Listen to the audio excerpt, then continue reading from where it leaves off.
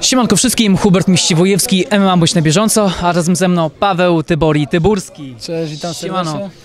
Paweł, co tam? Co tam słychać, jak zdrówko? Jak Wszystko, treningi? wszystko dobrze, w jak najlepszym porządku. Harmonia zachowana, właśnie zbijam wagę, co nie jest dla mnie No właśnie E, widzę po oczach. widz zmęczony, nie? Stary, Ale- wyglądasz... Y, Bardziej, ale nie, nie, dla, nie, nie przez dietę, tylko przez cały dzień, bo gdzieś tam e, dzień pełen wrażeń, jak zresztą każdy u mnie e, jest po konferencji, tym bardziej, że tam też zawsze są jakieś emocje, chociaż już się przyzwyczaiłem do nich, tylko po prostu już jest późna godzina, ostatnio staram się szybciej zasypiać, e, a, a waga swoją drogą, no nie mam fizjologicznych, że tak powiem, e, problemów, żeby ją zrzucić, ale mam problem, żeby się powstrzymać, żeby coś zjeść. I to jest, to jest to, bo kocham jeść. Ja e, seks i, i, i jedzenie stawiam na równi, a nawet czasem jedzenie Wyżej. wyżej. Słuchaj, no to co, no to zjemy coś dobrego po pojedynku. Na, najpierw zjem araba, później możemy coś zjeść dobrego.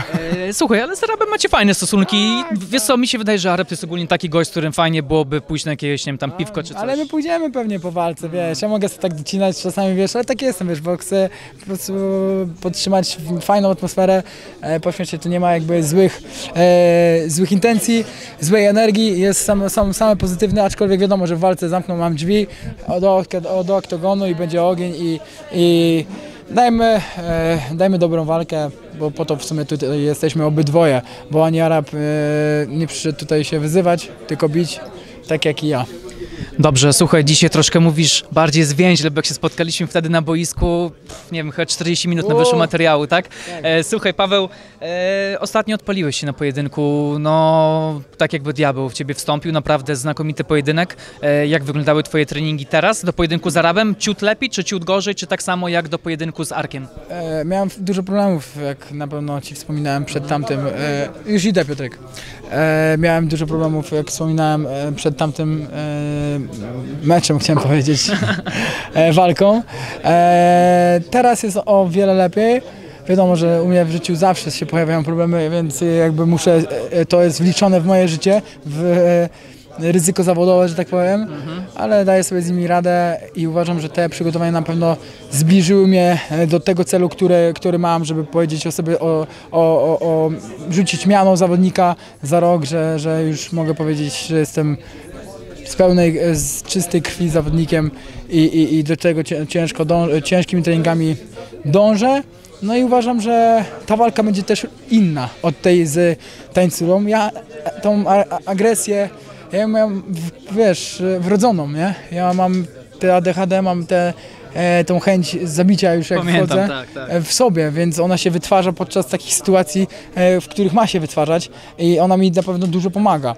E, aczkolwiek zacząłem, zacząłem uczyć się to panować w ten sposób, żeby bardziej bawić się w tym MMA, żeby bardziej e, luźno do tego podchodzić. Ile jest mi chuj lepiej z tym, że, że bardziej luźno do tego podchodzę, bo ten dynamit jest zachowany, ta siła jest zachowana przy lu- luźnym stylu, który gdzieś tam staram się e, wrzucić i troszeczkę innym e, niż poprzedni jaki był.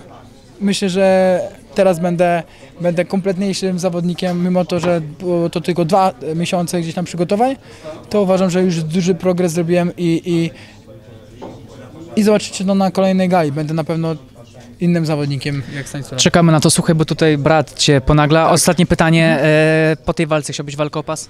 Oczywiście, że wiesz, po to, po to tutaj jestem i po to, po to trenuję ciężko, żeby tu zdobyć pas, żeby po prostu wygrywać wszystkie walki, które mi dadzą. E, wiem, że Kasiusz e, będzie się bronił e, walkami gdzieś tam w boksie, już ucieka od tego, że kończy karierę, ale mnie to nie obchodzi. No, dla mnie to jest sygnał do tego, że jest obstrany i tyle.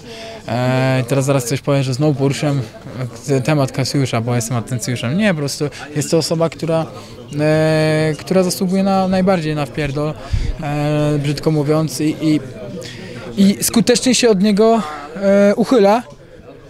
I jeżeli włodarze nie, nie dadzą mi tej szansy mu, jemu, je, mu jemu dać, jemu dać, to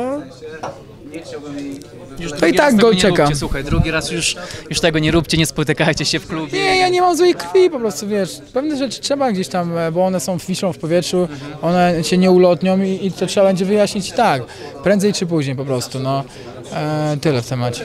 Dobra, Paweł, to co? Słuchaj, zdrówka, zdrówka, zdrówka, zdrówka jeszcze raz. Dziękuję Widzimy się za tydzień. Trzymaj się. Trzymaj się. Siema. Siema. Tak.